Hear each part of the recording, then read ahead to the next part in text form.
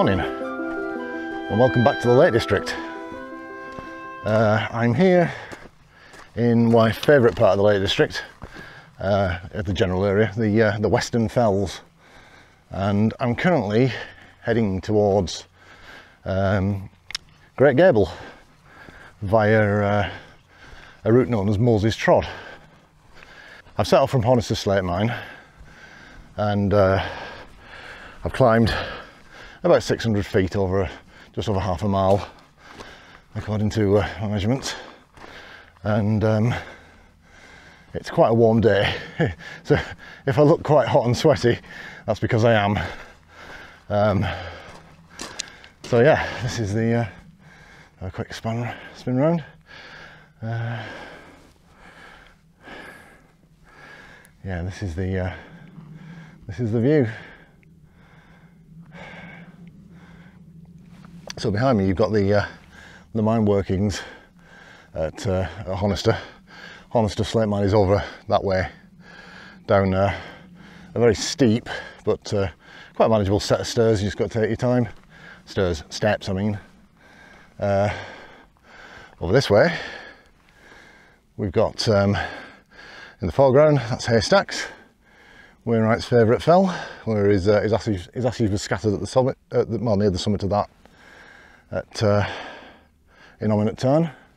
And then behind that is Pillar, um, with quite, you can see quite clearly Pillar rock on the front of it. And then just over to the right is um, High Stile. But uh, yeah, we're not going that way. We're going, we're going this way. You can't actually see where we're going at this point. Um, but I'm sure it will all become clear in a bit.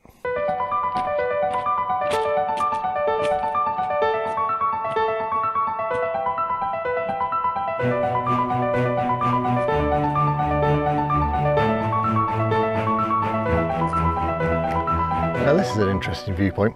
So I've come up the path a little way and now I'm in a more elevated spot as you can see looking out over uh, High Stile and Haystacks. It's just lovely that. You really get a sense of scale standing here. Um, taking in that view, it's just beautiful.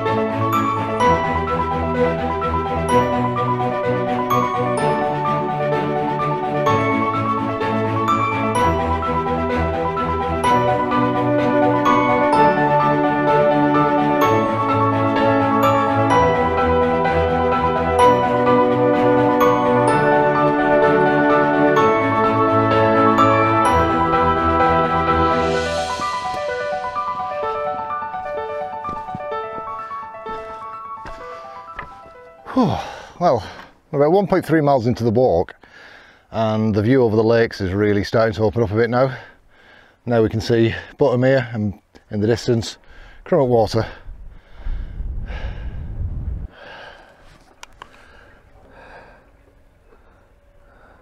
So I'm just framing this, taking a few different framings, but uh, I'm basically framing it from from Haystacks right across the Fleetwith Pike here on the right and just getting a bit of the boulder field just in front of me into the shot. I'm not going to bother with a, a polarizing filter because I don't think it's really going to help today. But uh, yeah, looks nice.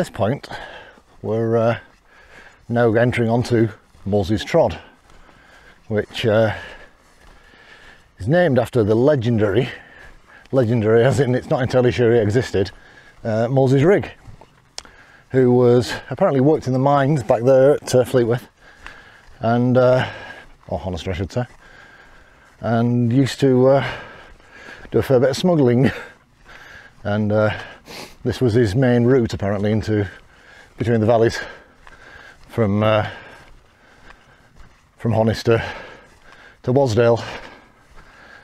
Uh, for our purposes, it takes us up around the back of Great Gable, which is just coming into view.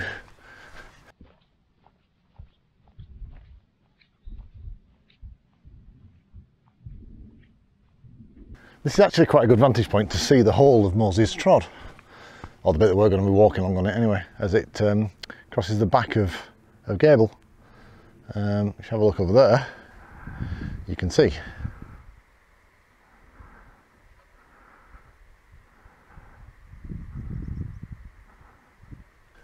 Yeah, so you can see see how the trod runs along the bottom of um, Green Gable there, which is the mountain on the left, um, then along the, the base of Great Gable, and then it actually carries on around the back of Kirkfell there before coming out of Beckhead on the other side. It's an ingenious route.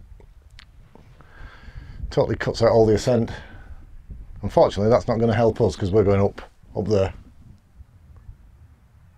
Great Gable.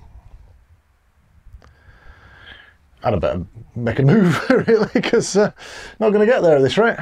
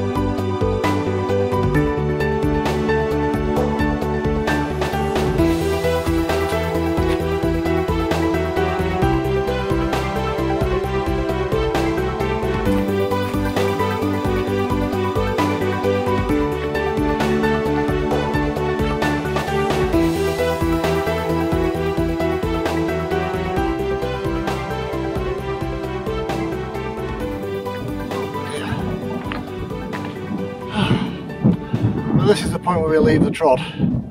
Uh, well, right now I'm going to stop, have a rest, and have something to eat. So time for a bit of something to eat. I've been a bit lazy this week. I had to buy pre-packed stuff on the way in because I couldn't be bothered cooking anything beforehand. So uh, today's sandwiches of choice are wild salmon and cucumber. Not just any old salmon, but wild salmon. salmon from uh, from the services on the way up. Do as a starter at least.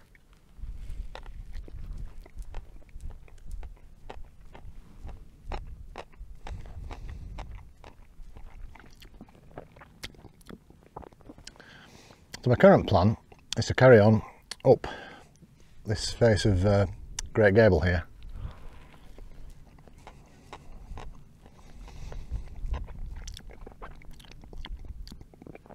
mostly for the views of Wasdale from the top. Um, and then once I've gone over the top, come down to Windy Gap on the other side, and then back towards the, the car. Well, back to the, the mines rather.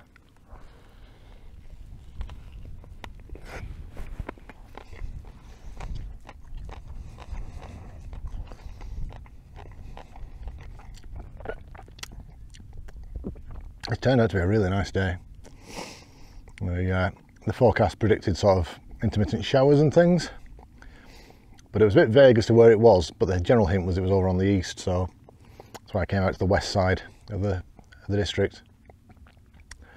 So hopefully I'll miss all the uh, the wild weather, storms, thunderstorms. Definitely hope I miss them. Um, I wouldn't like to get caught out up here in a thunderstorm. But uh, yeah, the forecast was that it wasn't over here, it was going to be more towards the Pennines. So uh, yeah, I'm to enjoy my butty and um, then I'm to head on up and uh, yeah, see you, see you in a bit.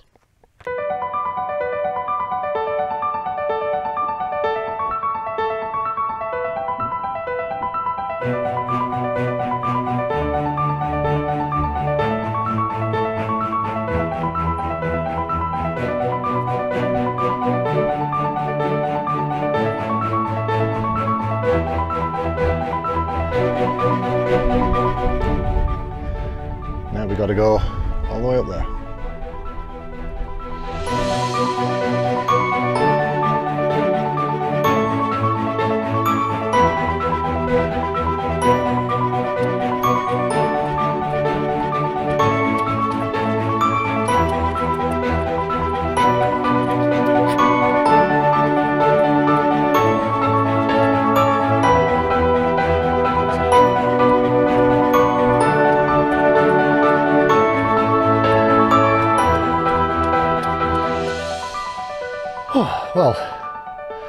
A little plateau about, that's about 300 foot up. I'm knackered. However, the view is well worth the effort if you uh, have a look around here. Got Kirkfell on the left here, with Pillar just poking up behind it, and uh, High Stile and Haystacks on the other side of the valley. and then the lovely verdant Ennerdale. Superb. So I'm going to take a few pictures here. I'm going to get my breath back and move on. And here's the path ahead. There's the top's up there somewhere. Yeah, still got uh, a few hundred feet to go. Getting there though, getting there got to pace it and uh, I've hit like a bit of a bit more of a scrambly bit. So it's going to take a bit more care so uh, I need to concentrate on what I'm doing and uh, go carefully. The uh, hopefully not going to fall off here. Uh, the views are quite stunning though. We've currently got a superb pardon? Superb view of uh, Wasdale looking that way and then come around. There's Kirkfell and then into the magic that is Ennerdale. And then you can just see Crummock Water over the uh, top of Haystacks there. So anyway.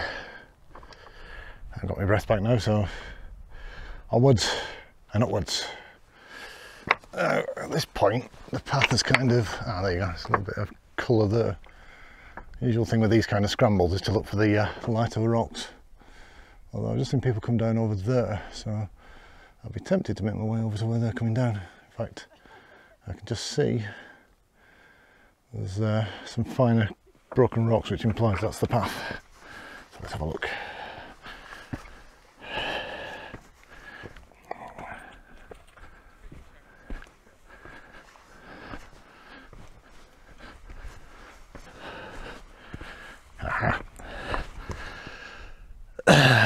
looks more like a path.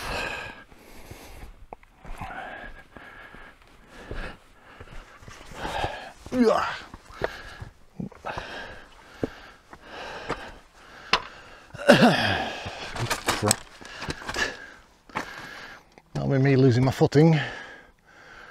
Hey. Right. Upwards, I guess.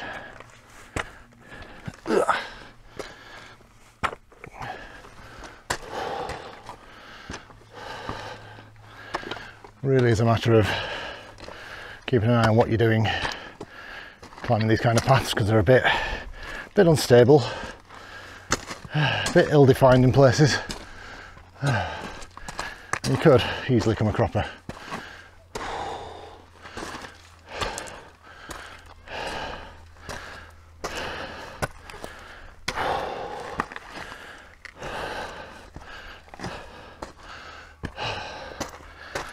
Currently looking forward to more food at the top.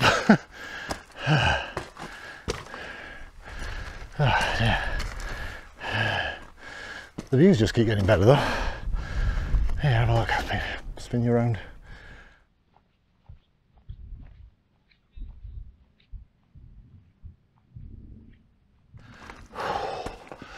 Oh dear. Are we there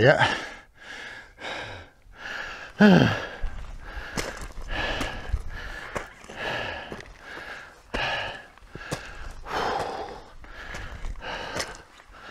Taking it really easy at this point. It's a silly hot day. It's really daft doing this kind of thing. but it's fun, right? It is indeed fun.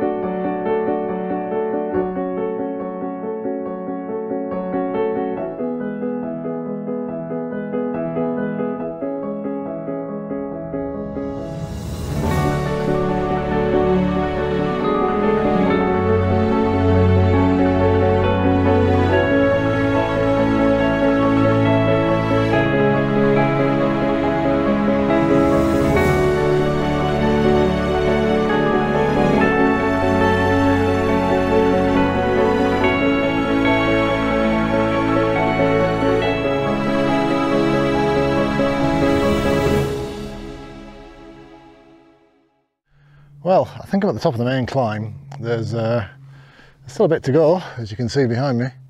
But uh, yeah, I think I think that's the bulk of the really steep bit.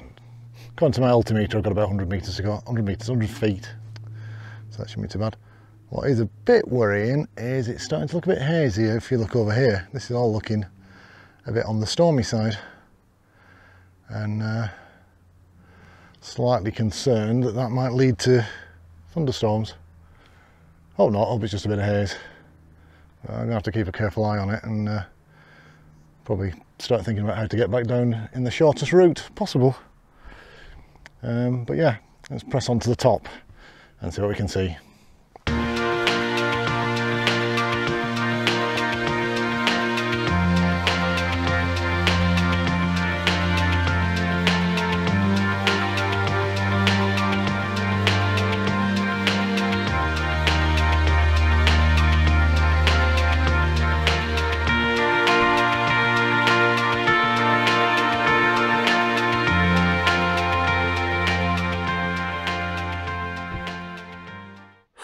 I've made it to the summit and uh, yeah, I seem to have the place to myself, which is unusual for Great Gable, as uh, there's usually usually a few people um, knocking around. So uh, I suspect it could be something to do with this rather stormy looking weather over this way that's uh, appears to be heading this way. Hopefully it's going across and it'll just miss me. Uh, it's kind of bizarre, isn't it? Because just the other side of the mountain it's like uh, like the summer's day it was before. There you got sprinkling tarn there, great end, and two Scafells, Pike, and well, Scafell. Uh, Scafell Pike being the uh, highest mountain in England. But yeah, it's uh, it's an interesting atmosphere. I know the wind's picking up a little bit as well which is not a good thing. So I should probably make my way down to lower ground, just in case. Because that looks, well, it doesn't look pleasant that way at all. It looks, looks quite bad. So I'll, uh, I won't hang around. I was going to go and uh, try and locate the uh, Westmorland Cairn, which is down there somewhere. But uh, that can have to wait till another day. Because this, yeah, this looks like it could turn stormy and this is probably not the best place to be in stormy weather.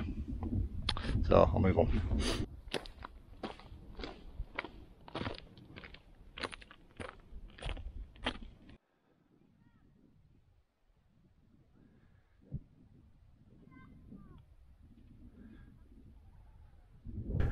Well, it's kind of interesting coming down on the side of Great Gable. I've, I've come up this side a few times, uh, but this is the first time I've ever tried to come down it. So I'm quite conscious that I don't want to go the wrong way and end up on the wrong side of the uh, the mountain, which would be a bit of a nuisance. But it looks like the place I want to get to is I don't know if you can see it. There's a a red path there. I want to get to the foot of that path, so uh, I need to watch that I don't inadvertently end up going off that way towards Styhead Tarn, uh, which is easily done. so we'll see. I think I might have just spotted the uh, the Westmorland Cairn. Maybe not. Don't know. Ah, so that's another another exciting scree slope to get down.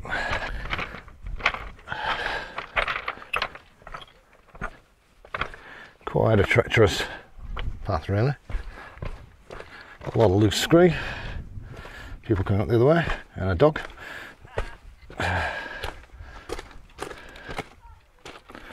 Uh, see I'm at the end of the path. Oh, I think it's starting to rain. It's only a matter of time.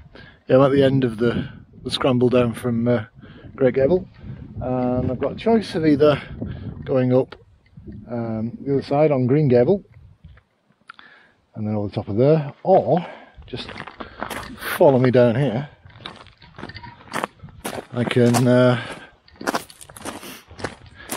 head back down Windy Gap, which is, well, this gap between the two mountains, uh, and rejoin Moses Trod, which I might just do because the weather's not looking great.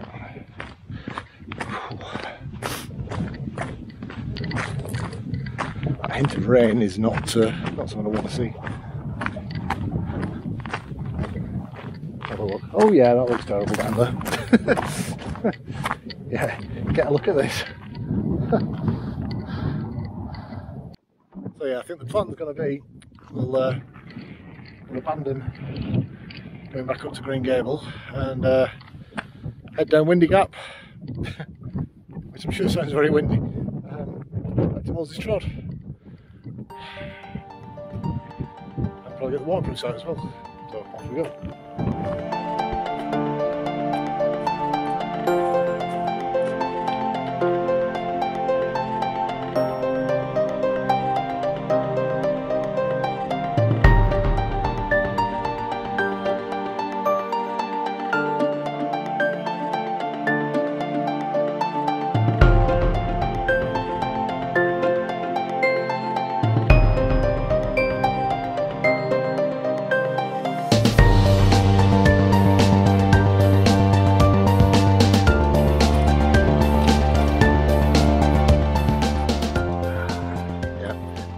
Fan of scree slopes, if truth be told. They're a bit unpredictable, and this one's a little bit, I don't know, it's loose. Nothing big on it, which is. you see, that's the thing. That's what I hate about these things.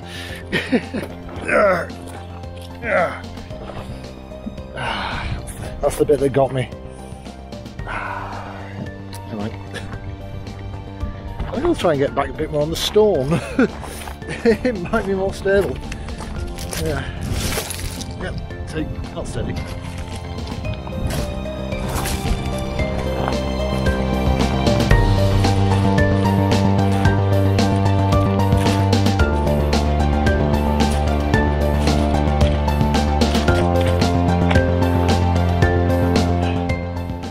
Ah, that's it. Back on something that looks like solid ground. Right, onwards and downwards.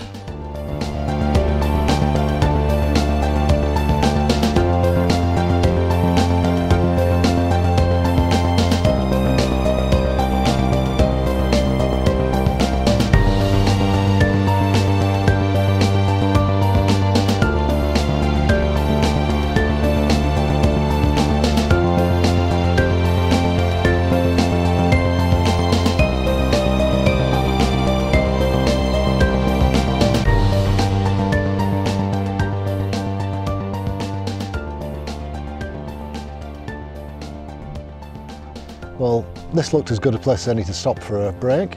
Uh, I've got about a mile or so to go to get back to the car, I think. Say about a mile, mile and a half. Uh, and it's all downhill from here, so that's good.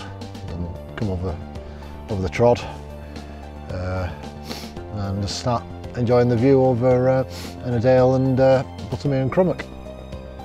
I'm looking at this storm, which fortunately for me appears to be definitely out in the distance. Uh, it didn't come up here, so that's good. I got a few spots of water, but nothing, uh, nothing to worry about. So that's good. But yeah, it looks quite, quite murky in both those valleys. Uh, so I have to keep an eye on it. Doesn't look like anything's coming over this way, fortunately. So, so that's good. Oh dear, I'm exhausted. It's been a very hot day. It's been enjoyable, it's been very enjoyable. But um, yeah, I'm really quite tired now. Uh, I've only walked six miles as well, but uh, oh look, so 2,200 feet of ascent. So yeah, reasonable to feel a bit tired. Uh, also, you know, lugging a drone with no batteries, that's that's not helped. so apologies for the uh, reduced production values on this one. But uh, yeah, so I'm going to have a little bit of something to eat, bit of a drink, I'm to head on back to the car. So until next time, see ya.